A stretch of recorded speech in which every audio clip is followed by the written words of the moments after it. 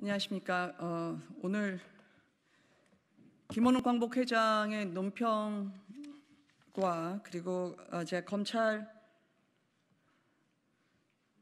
추가 논평을 하고요. 그 뒤에 청와대 여야 회동 제안 주장에 대한 입장을 전해드리도록 하겠습니다.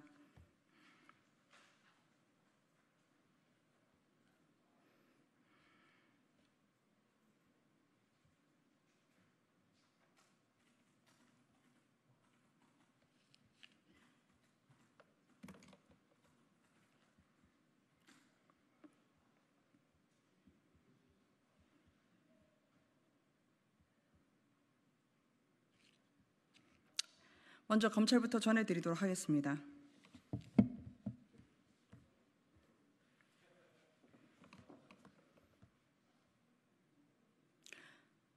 민주당 최고위원 온라인 합동 연설회에서 이원우 후보가 임명받은 권력이 선출된 권력을 이기려 한다면서 검찰을 향해서 개가 주인을 무는 꼴이라는 막말을 쏟아냈습니다.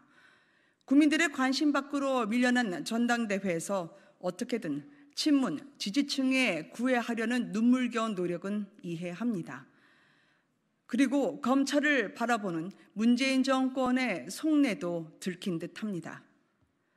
내 명을 잘라먹고 거역한다는 추미애 장관의 말은 조선왕조 500년을 떠올리게 합니다. 그리고 문재인 정권이 집요하게 추진한 검찰 개혁이란 실은 권력에 복종하는 충견을 만드는 것임도 이번에 알게 됐습니다. 그렇지 않고서야 숱한 검사들의 반대에도 불구하고 권력 비리를 수사하는 대검 반부패부, 공공수사부, 그리고 선거 공안 부서만 축소하고 발라내는 직제 개편을 밀어붙일 리가 없습니다. 지금 이 정부는 작전처럼 돌진 중입니다. 내 편의 비리를 숨기고 영생을 도모함인지 그나마도 국민이 눈치챌까 두려워서 입법 예고를 하지 않은 채 쉬쉬합니다. 비굴하지 않습니까? 국민으로부터 권력을 잠시 위임받은 시한부 정부가 이 나라의 주인익냥 행세하면서 자신들의 영달을 위해 국가 근간을 뒤흔들고 있습니다. 언제 국민이 나라의 주인을 문재인 정부라 했습니까?